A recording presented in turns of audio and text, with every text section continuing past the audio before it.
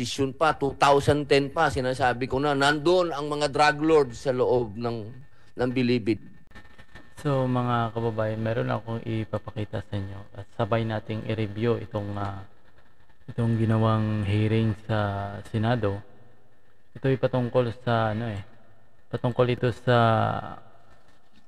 drug enforcement no na pinamunuan ni Senadora Bato de la Rosa. So, dito sa pahayag na ito ay inamin ni Senador Ben Padilla na ang mga drug lord ay nasa loob ng bilibid.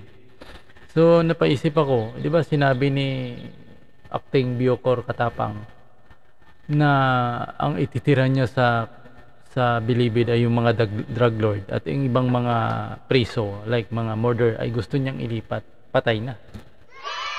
Ay, mali. Ito pala dapat oh. Yan. Iye pa no. So kasi naisip ko kung buhay ang mga drug lord pala talaga sa Bilibid ay buhay buhay prinsipe pala siguro talaga diyan mga kababayan dahil sa dami nilang pera kaya nilang paggalawin yung mga bagay diyan no? parang ano sila eh may mga kapangyarihan ika nga dahil nga ay maraming silang pera so ito yung maganda rin namang ah, maganda yung panukala nila ni Senador Bato de la Rosa patungkol sa rehabilitation at itong uh, therapy. So, dalawa, ang gusto ni Ruben Padilla ay magkaroon ng, Senador Ruben Padilla magkaroon ng therapy sa mga addict. No? At gusto din ni Senador Ruben Padilla na i-discriminalize itong mga nahulihan na mga, alam mo na, mga konting, ah, konting ah, mga pinagbabawal ng gamot na halim sabi nga dito nga sabi ni si Ruben, Ruben Padilla ay yung piso no? So tara sabay nating reviewin itong mga kababayan itong ah, video na ginawang pagdinig sa Senado. Na yan din po ang matagal ko ng pinosisyon pa, 2010 pa, sinasabi ko na, nandun ang mga drug lords sa loob ng, ng Bilibid. Ah, hindi naman po mapagkakaila na ako po ay napiit din. At ako po ay nagtayo ng therapeutic center sa loob ng kulungan.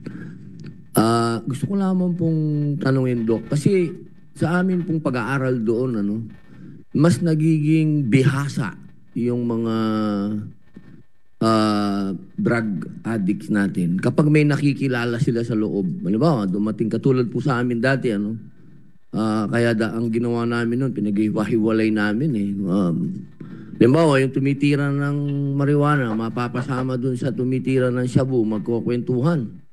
Nag-sharing na sila ng kanilang makagandang mga kalukuhan. Tapos, i-sharing pa dun sa isa. Paglabas ngayon, magbarkada na. na. sila. Ano po kaya ang pwede niyong Tirador gawin dyan? Kasi yan po nakikita kong ano eh. po- Na, mas nagiging bihasa sila sa mga ganyang usapin. Pa- Paano niyo po kaya yung maharap pa, Doc? Okay, Thank you very much, Your Honor. You have the floor. Thank, ahead. thank you very much for that very interesting question. That actually poses a challenge sa rehabilitation natin to prevent them from talking about and discussing future plans with regards to rehabilitation at saka yung ano nila. Now, when we do our rehabilitation po, it doesn't just stay within the rehab in itself. Very important po yung partnership namin with the DSWD because after rehab, there's aftercare and follow-up program. In such a manner po, they are um, they would follow up regularly either with the rehabilitation center or kung walang rehab sa area nila with our DSWD counterparts to provide aftercare and na monitor po natin yung progression nila.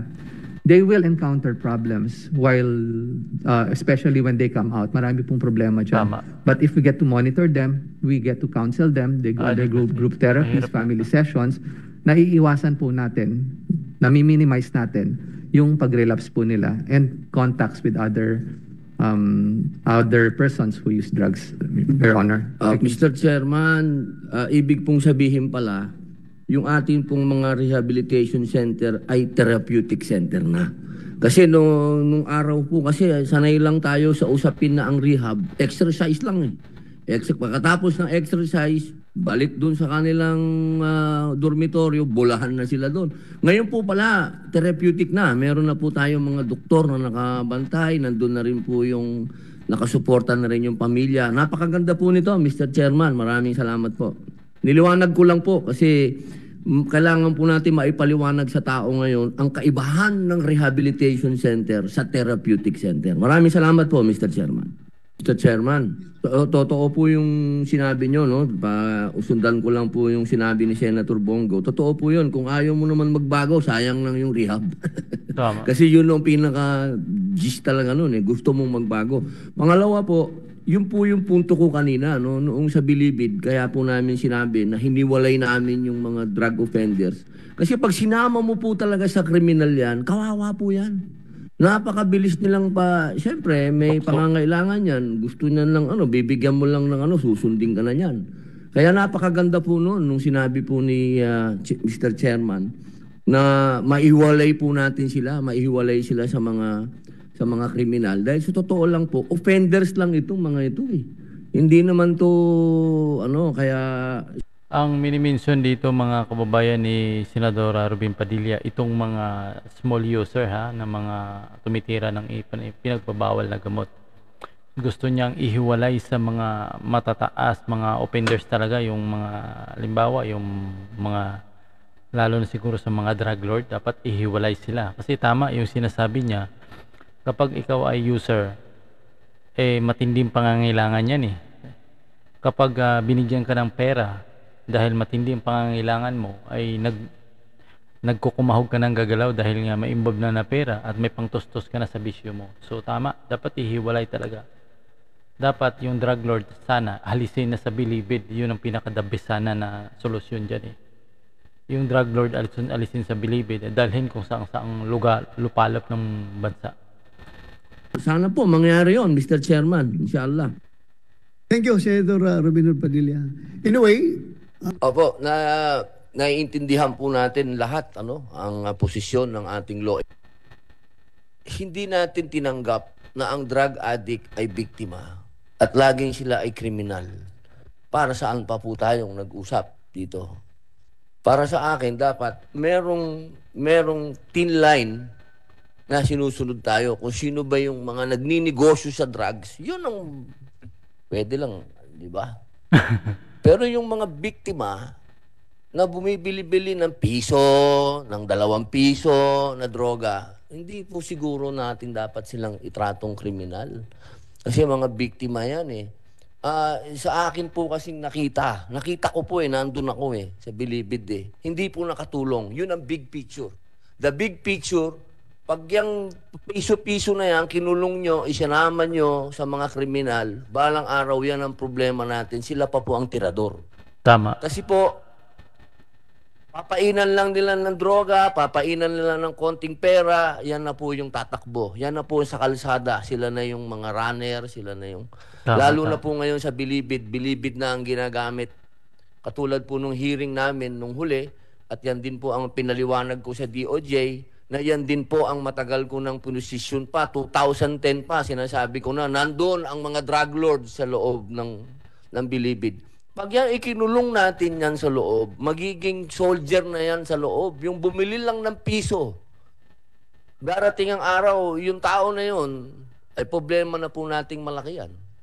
Yung akin po, kung meron tayong i-decriminalize, hindi naman po ibig sabihin na lahat ng droga i-decriminalize natin. Siyempre, ang ibig ko pong sabihin, yung mga maliliit, katulad po sa mga progresibong bansa, Mr. Chairman, sa mga first world country, dinidecriminalize nila, depende sa dami. Hindi naman po pwedeng na yan din po ang matagal ko ng pinosisyon pa, 2010 pa, sinasabi ko na, nandun ang mga drug lords sa loob ng, ng Bilibid. Pag yan ikinulong natin yan sa loob, magiging soldier na yan sa loob. Yung bumili lang ng piso. Darating ang araw, yung tao na yun, ay po, ah, gramo-gramo na shabu, eh, imposible naman na hindi ka tulak. Pero makunan ka ng piso.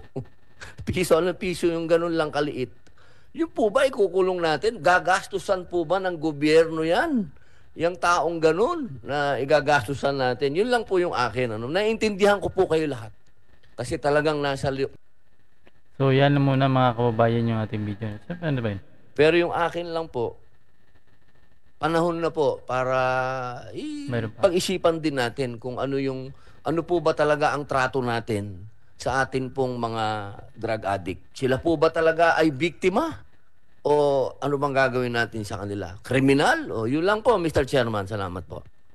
So yan mga kababayan yung bahagi ng pagtatanong ni Senador Robin Padilla. So yan, medyo maganda yung kanyang topic at mm, siguro nakakatulong yan sa pagbuo ng batas dahil itong si Senador Bato de la Rosa ay gagawa ng batas patungkol dyan, eh siguro nakakatulong yan.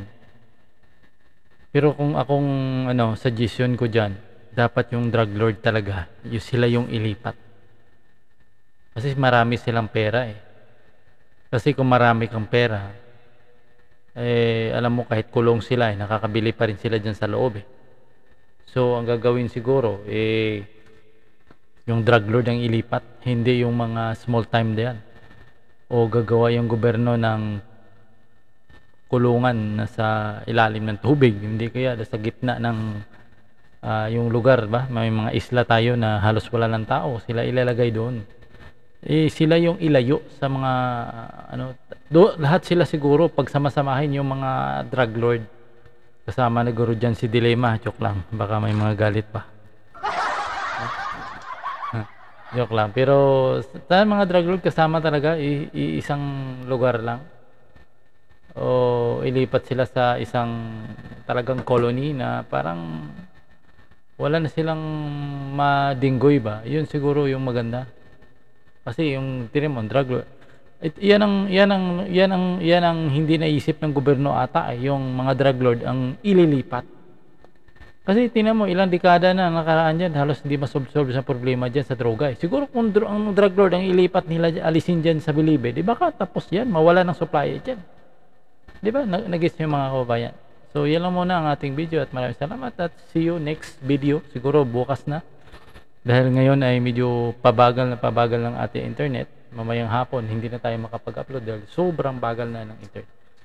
So, see you tomorrow mga kababayan. So, huwag niyong kalimutan, i-follow, i-subscribe itong ating page at pa-subscribe din ito sa ating channel. So, yung support niyo, sana kalimutan kung alam niyo na,